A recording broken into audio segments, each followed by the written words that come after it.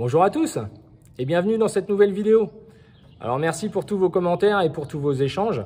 Merci pour les pouces, c'est toujours sympa. Et puis pensez à vous abonner si jamais c'est pas fait, ça permet bah, plus de visibilité et plus d'échanges avec plus de monde puisque l'objectif quand même c'est que ce temps passé soit utile au plus grand nombre et augmente la, la surface d'échange en fait. Voilà, donc je vous en remercie d'avance. Donc aujourd'hui j'aimerais vous parler des différentes formes de soufre que vous pouvez trouver en agriculture, mais aussi euh, dans les jardins, etc.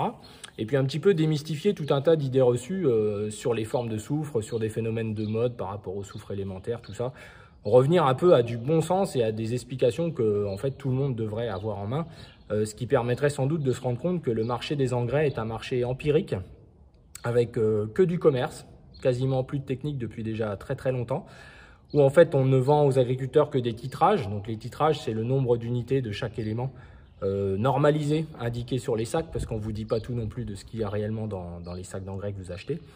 Donc je sais qu'en ce moment, beaucoup d'entre vous doivent réfléchir ou ont déjà fait l'action d'achat d'engrais pour l'année prochaine, avec des spéculations de nos fournisseurs euh, et de tous ceux qui les fabriquent notamment, euh, voilà, avec des marchés qui ont plus que doublé, hein, deux fois et demi parfois dans certains cas, parfois avec des formes de très mauvaise qualité et très chères.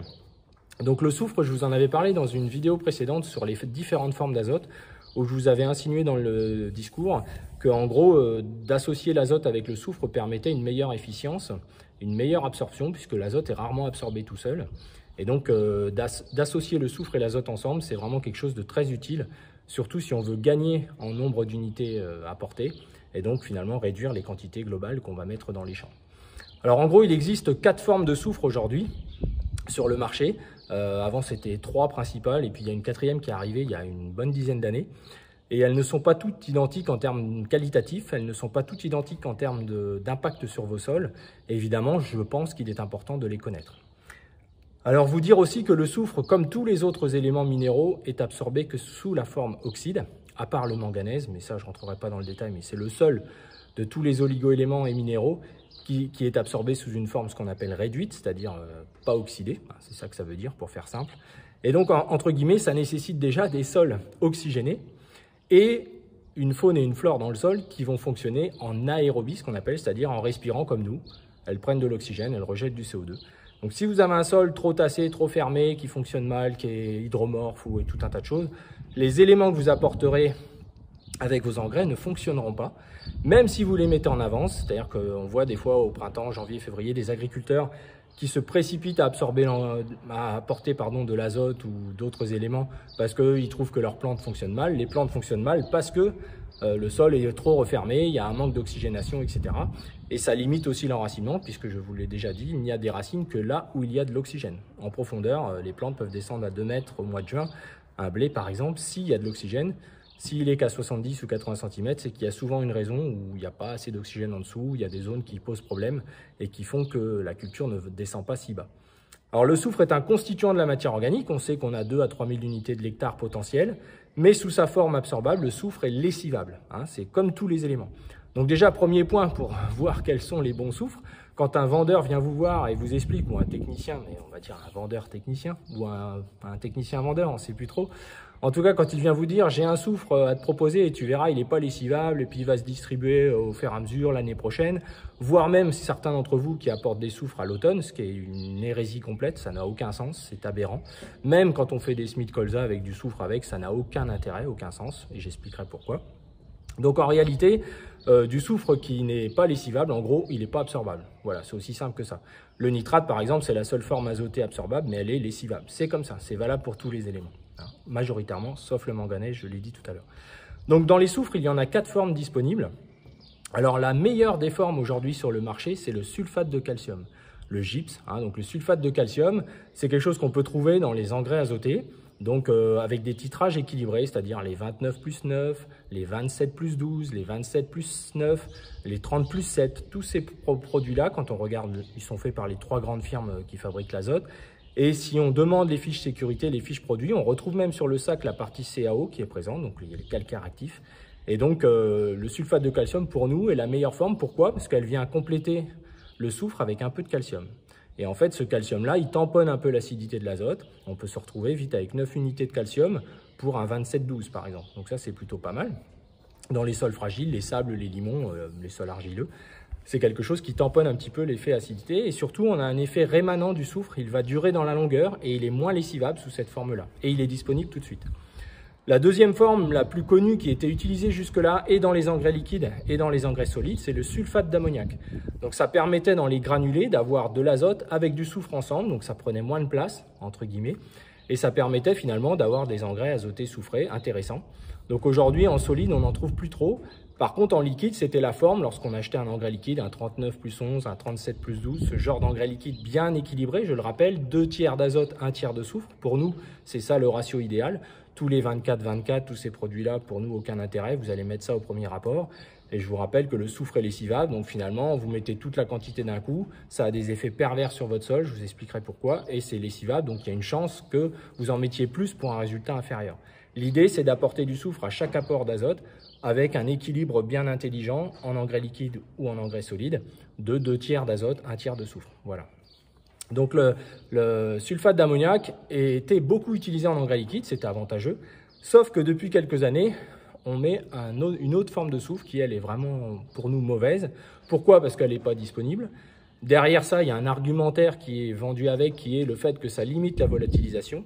Et cette forme de soufre que nous, on n'apprécie pas du tout, c'est le thiosulfate. Le thiosulfate est un soufre bas de gamme, pas cher, qui n'est pas disponible, qui va mettre plusieurs jours, voire plusieurs semaines, selon les températures de sol, à se transformer pour devenir disponible.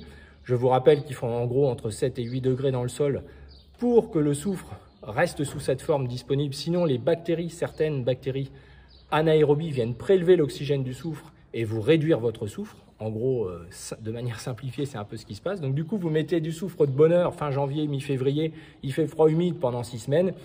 Bah, votre soufre, il a servi qu'à mettre le bazar dans votre sol, si je peux m'exprimer ainsi. Euh, sachez aussi que le thiosulfate est extrêmement acide, donc c'est un produit acidifiant, ce qui fait que ça tamponne la basicité de l'urée, hein, c'est ça qui se passe. Donc vous faites des variations de pH très très fortes dans votre sol pour un produit qui n'est de toute façon pas disponible. Donc nous, on vous invite vraiment à ne pas utiliser ce produit-là, à demander de l'engrais liquide qui contient du sulfate d'ammoniac, à ne pas acheter le cubi à côté là et remettre ça dans votre engrais. Le problème, c'est que certains distributeurs font eux-mêmes les mélanges, ils achètent des camions d'engrais liquide 39 et ils associent avec un camion de thiosulfate, ils font eux-mêmes le mélange pour vous vendre après un engrais soufré.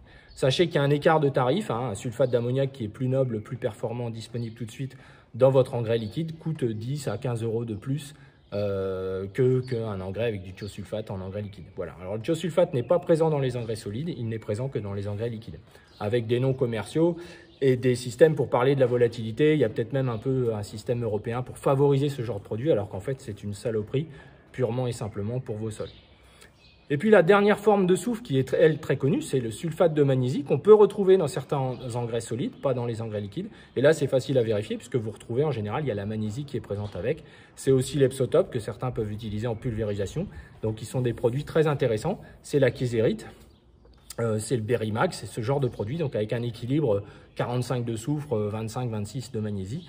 Donc ça, c'est des très bons produits, sauf que dans beaucoup de sols, la magnésie n'est pas nécessaire à être apportée. Euh, parce que euh, les sols calcaires en contiennent souvent, etc. Donc c'est un peu une confusion qui a été créée entre le soufre et la magnésie, qui sont deux produits très boosters de la photosynthèse et qu'on a tendance à vouloir utiliser euh, de manière importante. Alors pour faire le lien avec le sol, le soufre est le plus gros minéralisateur après le phosphore que vous pouvez avoir. Un kilo de soufre va minéraliser une quarantaine de kilos de, carbone, on va dire, de matière organique, entre guillemets. Hein, donc c'est vraiment un minéralisateur puissant, c'est pour ça qu'il y a un effet derrière, hein, il y a un effet vert. Euh, le phosphore, lui, c'est 70 kg, hein, donc 1 kg de phosphore, c'est vraiment nettoyant et booster, puisque quand on booste trop vite les bactéries, on élimine les champignons. Mais ça, j'aurai l'occasion un jour de, de vous l'expliquer certainement cet automne et cet hiver pour des choses un peu plus pointues. Donc en réalité, aujourd'hui, le soufre doit être utilisé, finalement, si on veut parler sol et vie du sol et matière organique, éviter de consommer de la matière organique, c'est réduire le soufre à son maximum. Donc le soufre à l'automne, aucun intérêt. Le soufre est toujours disponible à l'automne, vous n'avez jamais des moutardes qui ne fleurissent pas à l'automne. C'est un moment où le soufre est présent, il n'est pas lessivé, il est, il est libéré par le recyclage de la vie du sol, etc. Donc ça n'a pas de sens d'apporter du soufre à ce moment-là, si, si ce n'est surminéralisé, c'est-à-dire bouffer encore de la matière organique, et finalement fragiliser encore vos sols. Le fait d'apporter des engrais azotés soufrés bien équilibrés nous permet au final de réduire, par exemple sur un colza où vous, mettriez 80 unités de soufre, et eh ben en faisant comme ça, avec 50-60 unités, on fait le job parce qu'on en apporte un petit peu tout le temps et finalement on évite les grosses quantités d'un coup qui vont perturber le sol. On risque aussi euh, des périodes de pluviométrie importantes, etc. Donc vous voyez, à chaque fois, il y a toujours une raison de tarif dans beaucoup de cas et on vend ça comme on vendrait de la lessive et c'est encore pire pour les matières organiques ou les engrais de fond où là finalement on parle que de titrage et les agriculteurs sont vraiment euh, à ce niveau-là pas sérieux. C'est-à-dire que ce que vous achetez, s'il y a un prix, c'est qu'il y a une raison. Et souvent, euh, alors pas toujours, mais en tout cas, c'est quand même au moins important de le savoir. C'est-à-dire vous pourriez très bien apporter du soufre en une seule fois à des périodes humides et froides, où déjà votre sol dysfonctionne naturellement, le pH diminue, etc. Et là, vous apportez un produit qui va encore accentuer les effets pervers. Et c'est dommage, c'est dommage. Donc en fait, il faut être très cohérent sur cet aspect-là. Donc voilà en gros le soufre un petit peu comment il se place. Puis après le soufre élémentaire, alors il n'a rien de spécial ce soufre-là, il est vendu à prix d'or, on se demande bien pourquoi. Les gens le mettent juste à côté de la graine, euh, notamment dans l'environnement TCS euh, semi-direct. Puis les gens disent ah bah c'est super, ça marche bien. Bah oui, on comprend pourquoi. Hein. On bouffe un peu de matière organique, euh, ça minéralise un peu en plein automne. Bon le colza il est friand de ça, il est surtout friand d'azote. Donc si vous y mettez du soufre, bah, il va mieux absorber l'azote. Donc c'est vrai, pourquoi pas.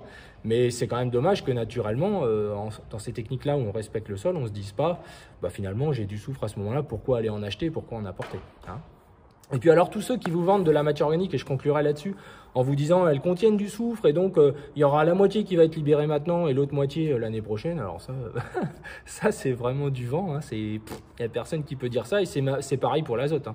Ça peut dépendre du climat, ça peut dépendre de plein de choses.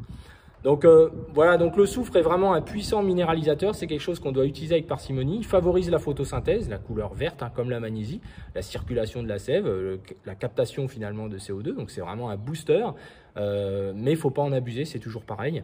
Et je dirais que plus on a des taux de matière organique élevés, moins on a besoin de soufre. Hein. Il y a même des générations d'agriculteurs qui n'ont jamais apporté un kilo de soufre.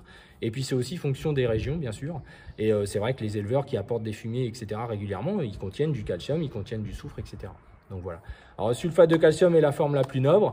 La plus mauvaise est pour nous le thiosulfate. La sulfate de magnésie, bah ça c'est facile à reconnaître puisqu'il y a de la magnésie dans votre produit. Donc ça c'est rare, ça n'existe pas en engrais liquide. Et puis le sulfate d'ammoniac, faites bien attention si vous achetez notamment de l'engrais liquide ou de l'engrais solide. C'est une bonne forme, assez rémanente. Et donc à unité égale, on n'a pas du tout la même performance. Comme pour l'azote, je vous expliquais entre l'urée et la partie nitrate. Eh bien, c'est vrai qu'entre les soufres, évidemment, avec 50 unités de sulfate de calcium, on ne fera pas la même chose qu'avec 50 unités de thiosulfate, ça c'est clair et net, et sans parler des dégâts sur le sol. Hein. donc là, euh, sulfate de calcium très soft, sulfate de magnésie aussi, sulfate d'ammoniac un petit peu plus agressif, puis alors euh, le thiosulfate, euh, voilà. Donc maintenant, vous ne pourrez pas dire que vous ne saviez pas. et puis, essayez surtout d'avoir les renseignements. Et là, je vous souhaite de vous accrocher parce que malheureusement, on nous vend beaucoup de choses et on nous donne très peu de renseignements. Et paradoxalement, au milieu de tout ça, on nous parle d'environnement et de faire attention à tout, alors que l'agriculture est souvent un des endroits où on vient déverser euh, des pseudo-déchets, et le thiosulfate en fait partie. C'est un produit bas de gamme euh, issu de l'industrie qui vaut absolument rien, qui est, vraiment pas bon pour, pour nos sols, ni pour la vie qui va avec. Voilà, j'espère que cette vidéo vous a apporté des éléments de réflexion. Et puis n'hésitez pas, si je peux répondre à quelques questions, je le ferai avec plaisir. À bientôt Au revoir les amis